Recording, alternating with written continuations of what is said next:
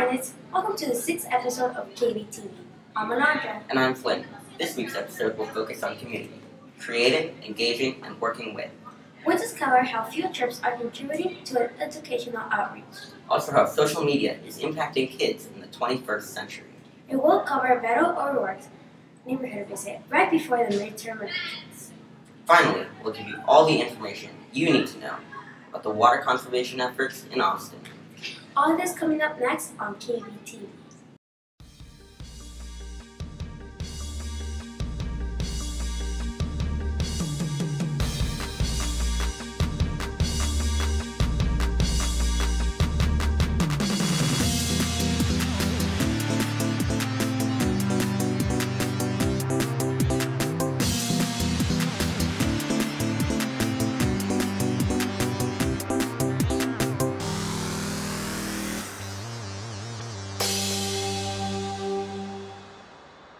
It's Tuesday, so it's an easy. Here's the buzz for this week.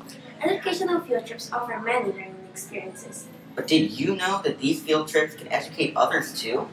KBTV reporters Judge Baskin and Alex Edwards give us a closer look. I got two. I got three dogs.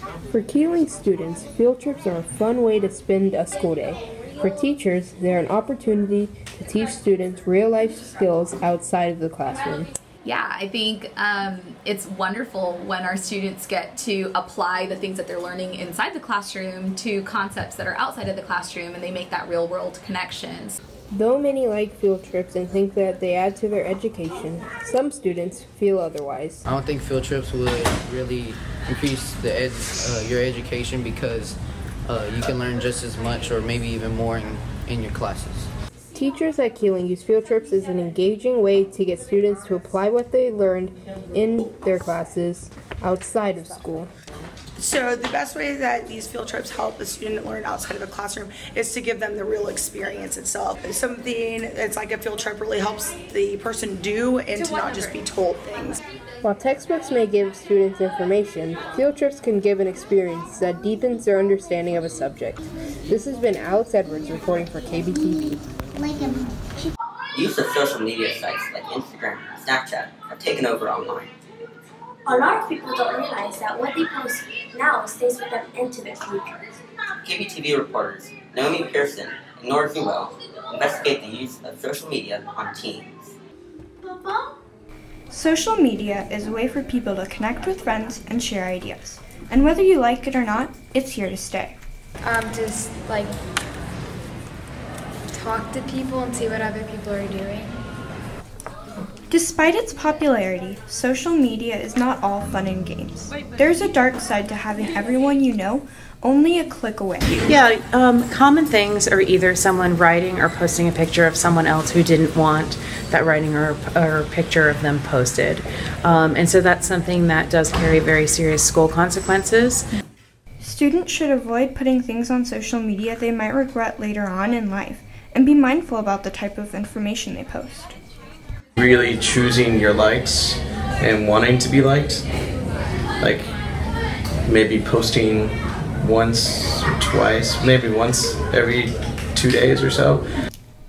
Social media has its time and place. Share wisely.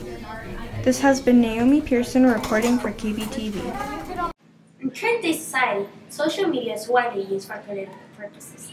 Candidates and their supporters use it to keep people posted on events and news.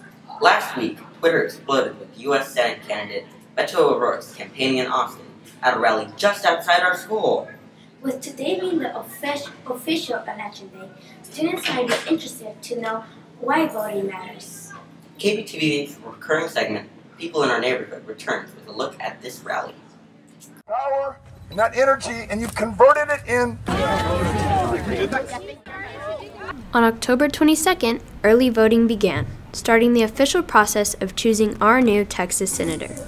Parents and teachers who voted this year made the choice between Beto and Cruz for Texas Senator, based on their personal beliefs. I'm voting because I want uh, the issues going on in the country are alarming, and I want to make I want to make a change.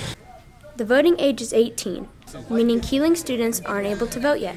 Because of this, many have questions. It's important to me that people register to vote and become voters because our elections have consequences and people need to have a say in their democracy. Texas has a pretty bad voter registration and voter turnout. Um, and I think that if we're all going to take part, we all have to do our part by voting. The official election day is on a weekday, the second Tuesday of November, which means it is inconvenient for many people due to their work schedules. In Travis County, we have about a week of early voting before Election Day on November 6th, and that gives people from 7 a.m. to 7 p.m. to get to the polls. Regardless of your political views, voting is a fundamental right for every American. This has been Skylar Jones reporting for KBTV. Thanks, Skylar and Samir, for that in-depth look into the important role state and national government plays in our everyday lives. Closer to home, city government has been busy dealing with the recent water crisis, shedding light on why it's even more necessary than ever to conserve water. KBTV reporters Caroline Krosno and Mackenzie Waldron give us more information. Two weeks ago, citizens of Austin experienced a great water scare. Our water had silt, and the students and staff had to boil and use bottled water to stay hydrated. Many students were shocked by the unhealthy news, but Mr. Hendricks, the Parks and Rec teacher, was already suspicious. I wasn't necessarily surprised after riding my bike around the lake and seeing how thick the water looked. It looks like chocolate milk or worse. Many people have seen how dirty the water is with the silt. Some people have noticed the odd color or taste. The process of cleaning the water has proved to be a difficult challenge. We have good, uh, dedicated staff working hard to improve our water plants and try to um, correct the situation. Kealing families have been working hard to stay safe by boiling tap water and drinking bottled water. Although we have overcome the boil water situation, lots of students were very worried and didn't know how long it would last. Maybe it'll take a lot longer than they say, like months, maybe two months, a year maybe. Though the boil water notice has ended, it's important to remember the quantity and quality of water we use daily. The daily. bigger issue is conservation, so we're trying to use less water. This has been Caroline Krosno reporting for KBTV. Even though it will last forever, the Water Conservation Initiative gave us important information on how to conserve more resources. Here's some more information coming from our sponsors.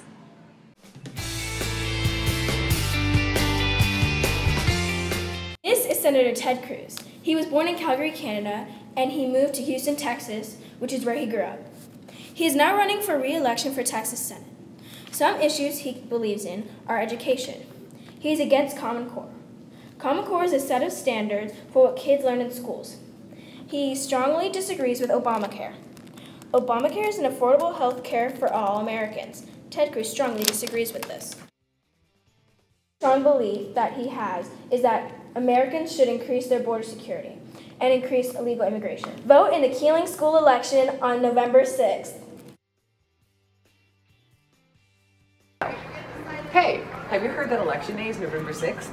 I did it. Who's running? Well, there's two people running, but we're only talking about one in this ad, so. His name is Beto O'Rourke. He's the Democratic nominee for the Senate, even though he's already representing Texas in the U.S. House. Well, what does he stand for? Beto stands for many things, like more gun restrictions. He believes there should be more background checks, the age minimum should be raised, and that the types of guns being sold should be limited. Hey, are you guys talking about Beto? We are!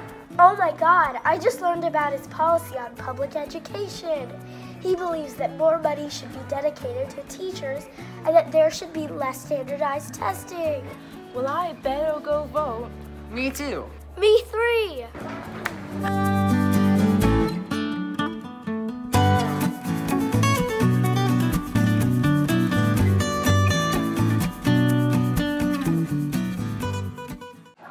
Thanks to Ms. Lieber's Party Politics class for helpful information about today's mock election. Remember, students, even though it's not the real election, your vote counts. So choose the candidates you feel most strongly about. Well, that's all we have for today. This has been Flynn. I'm Alondra. Thanks for watching KBTV. Kealing's number one source for news and information.